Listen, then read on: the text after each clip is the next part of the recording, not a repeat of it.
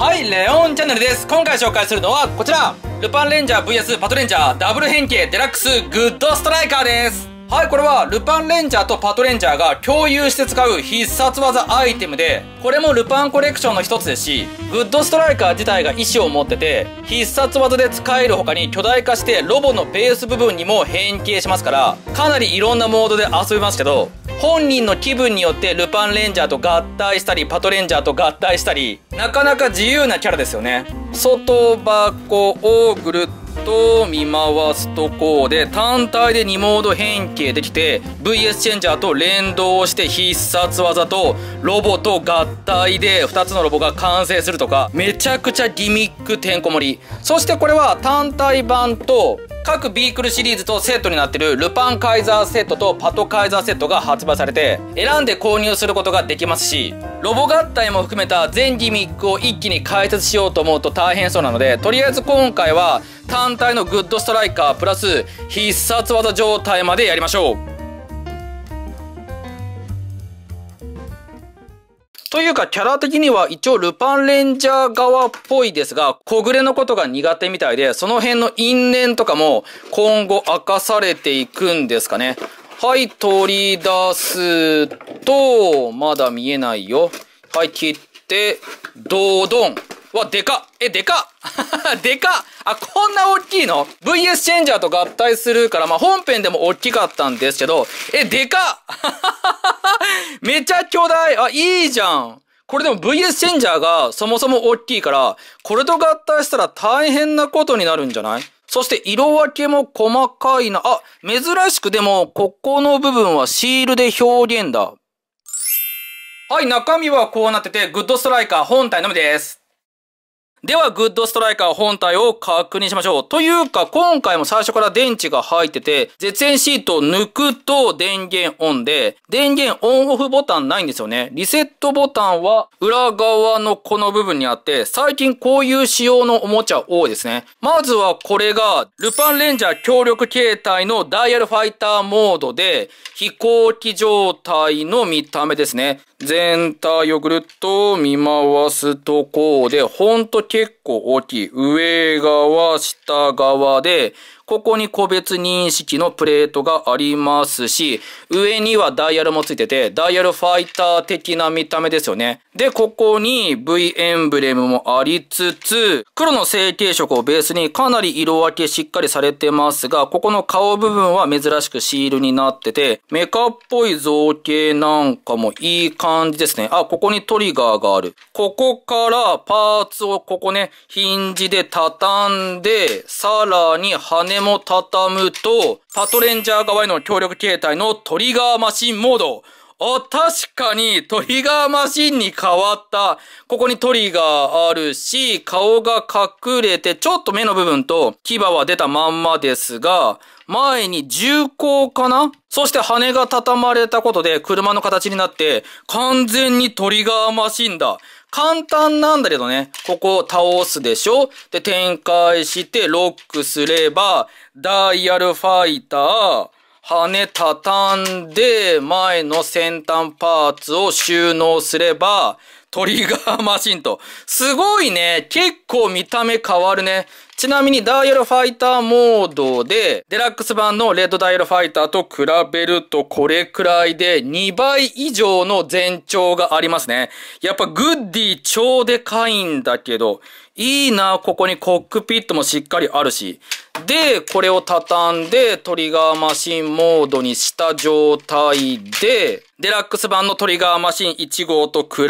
べると、ここにトリガーがあって、ちゃんとトリガーマシン的なシルエットが再現されてるんですよね。ダイヤルはね、そのまま目立っちゃってますが、これも全長2個分ぐらいかな。トリガー展開のアタックモードを使っても1.5倍ぐらいの長さで、いかにグッドストライカーが巨大化がわかりますし、タイヤがあるということは、普通にコロ走行もできますね。あ、非常にスムーズ。トリガーマシンモードでコロ走行できて、これをダイヤルファイターにしても、あ、殺そうこう問題ありませんね。いいな、これ。では単体音声も確認しましょう。まずスイッチはちょっと一旦絶縁シート入れますけど、ここのダイヤルと、ここのトリガーの2個がスイッチで、ここを駆使することで、パトレンジャー側のサウンドを鳴らしたりとか、ルパンレンジャー側のサウンドを鳴らしたりとか、切り替えることができます。とりあえず起動、ここのダイヤルかトリガーどちらでもいいので、押すと、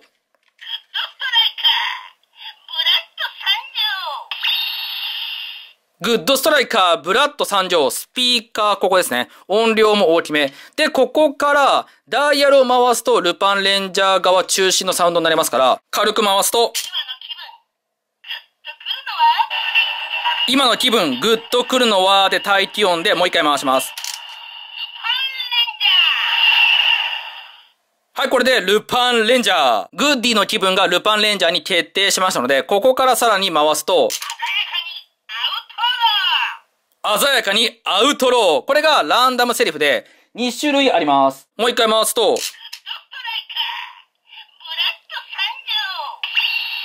1音目に戻りますので、もう一度ルパンレンジャー側にして、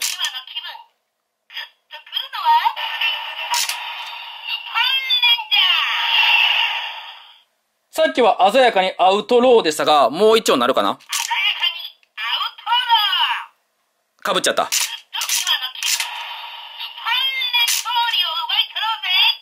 勝利を奪い取ろうぜ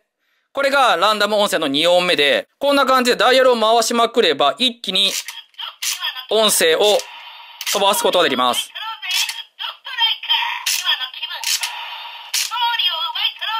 なのでセリフを聞き切らなくても、じゃんじゃんサウンドを飛ばせるのがいいですね。これがルパンレンジャー側のサウンドですから、次はパトレンジャー側行きましょう。変形はしなくても OK なんですが、見た目的にね、ちゃんとトリガーマシンモードにしてから、トリガー。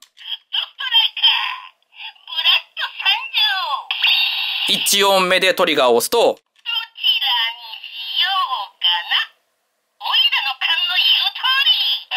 オイラの勘の言う通りでセンターコーンが鳴りますから、トリガー。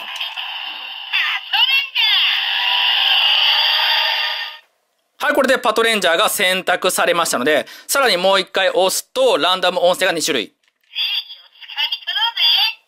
正義をつかみ取ろうぜで、もう一回押すと、1音目に戻りますので、連続で押して、確実にヒーローこれがランダム音声の2音目。押しまくればもう一度。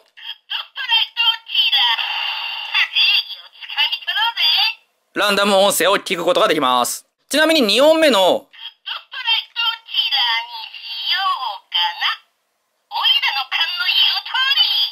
ここの選択中から何も押さなければ本当にランダム。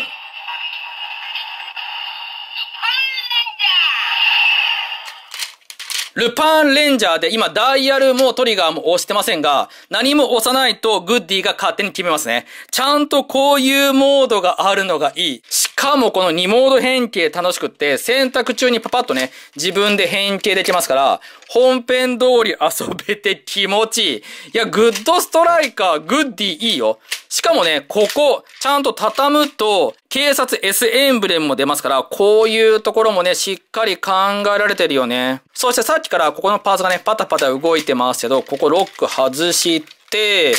伸ばして展開すれば合体待機状態っていうめっちゃ簡単。これがパトレン側でしょで、ルパレン側って感じで、この合体状態の変形も非常にお手軽なのと、ここがロック解除ボタンになってるっていうのも、かなりうまいことパーツに隠してあるなって感じですよね。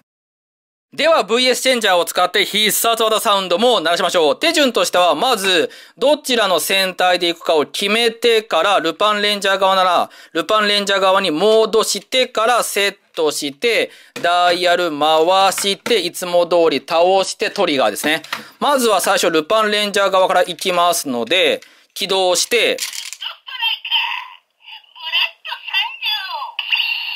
で、ルパンレンジャー側を選択。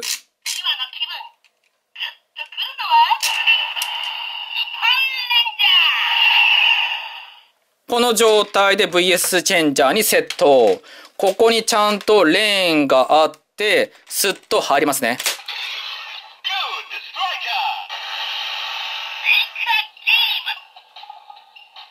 メイクアップゲームでタイキョン。いつも通りダイヤルを回して、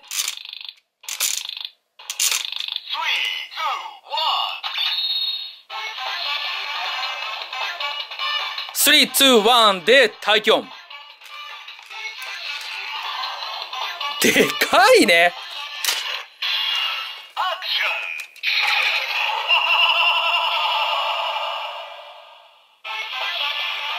で、耐気温が鳴りますので、トリガー。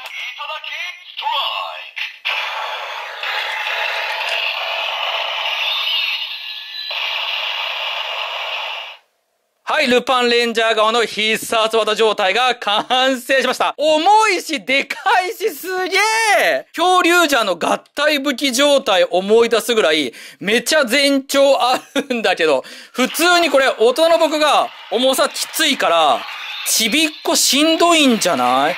トリガーを押しちゃったけど。で、これが合体状態で、もう一回トリガーを押すと、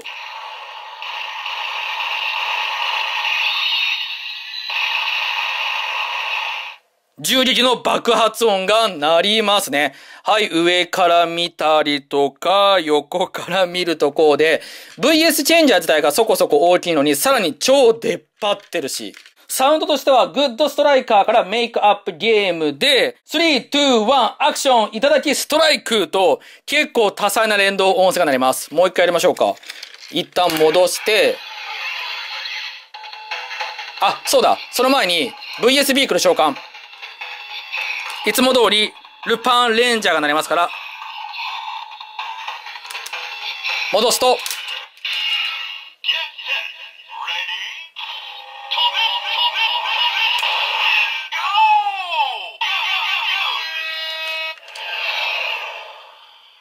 ググググーッとっていうサウンドが鳴って、合体時のアクションの VS ビークル消化もしっかりできますね。もう一回連動音声聞きましょうか。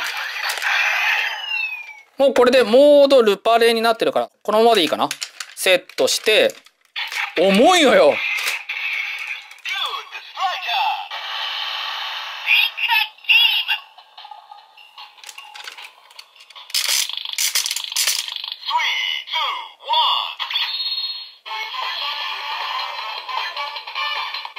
排気音声いいね。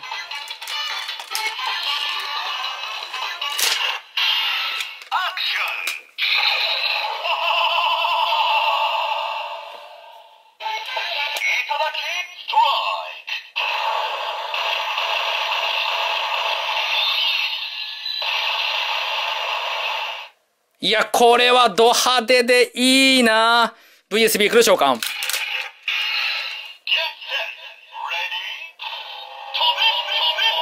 飛べ飛べ飛べもいつも通り。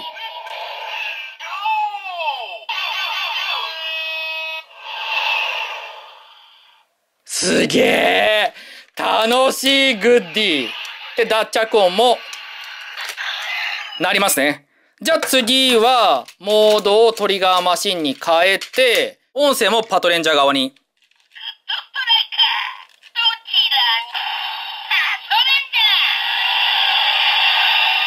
パトレンジャーにしましたので、VS チェンジャーにセット。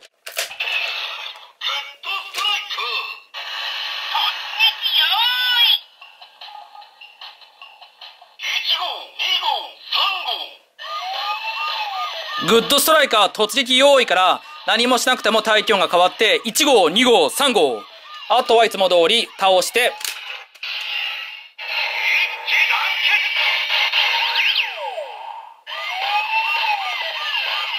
一致団結からのトリガー。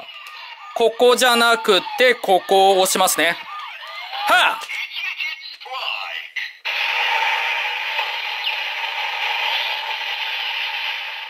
なんじゃこりゃーって感じで、パトレン融合の必殺技状態を再現することができます。これもさ、さっきのジェットが上についてる状態とはだいぶ違って、いわゆるなんか巨大な合体武器っぽさ出てますよね。いやー、やばい。グッドストライカーやばい。いや、全然こっちもかっこいいよ。メカっぽさが増えて。上から見るとちゃんとメカ造形目立ってて、正面には重厚っぽいのがありますね。トリガーマシン状態がセットされてるだけなんですが、かなりごつい重武器が完成したな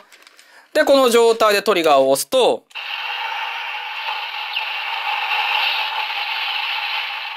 攻撃音と爆発音が鳴りますね。何回押しても、同じで長押ししても、特に変わらず。さらに VS ビークル召喚。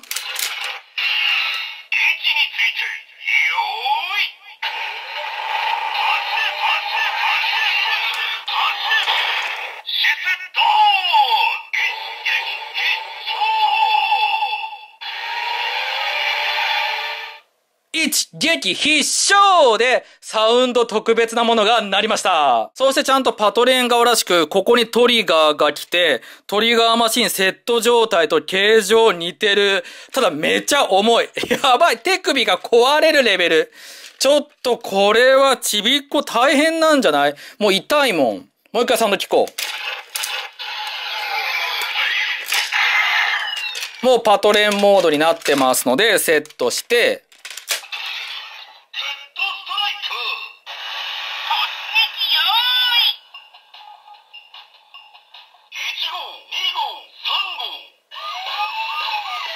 大気温が変わって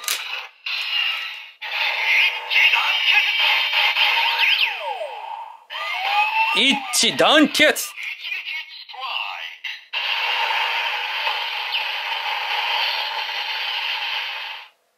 VS ビークル召喚。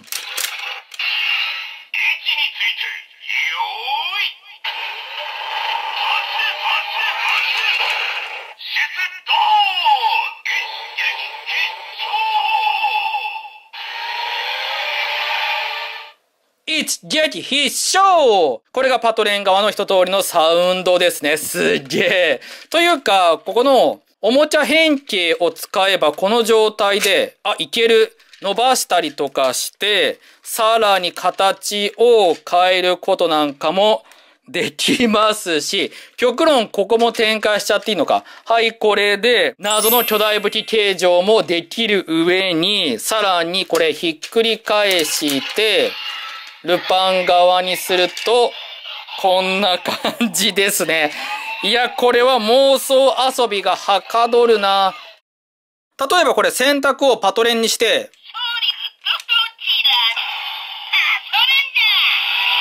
ここからルパレン側に倒すとどうなるかっていうと、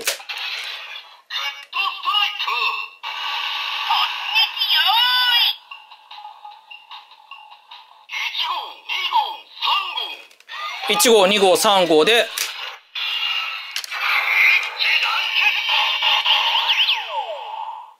普通に一致団結が流れますね。そっか。じゃあ、逆に、変形状態でパトレン側をセットして、この状態からセットすると、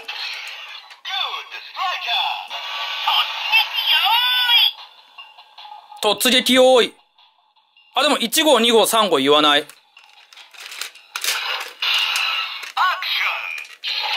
アクションあ、ルパンレンジャー側のサウンドだ。あ、ちゃんと変形してるかどうかも、一応は認識してるんだね。へえ。なるほど。じゃあ、トリガーマシン状態で、ルパン側を選んで、で、セットすると、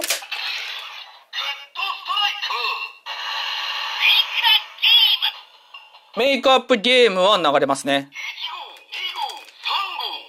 あ、でも1号、2号、3号になっちゃった。ああ、ちゃんとやっぱ変形認識で連動サウンドが変わるんだな。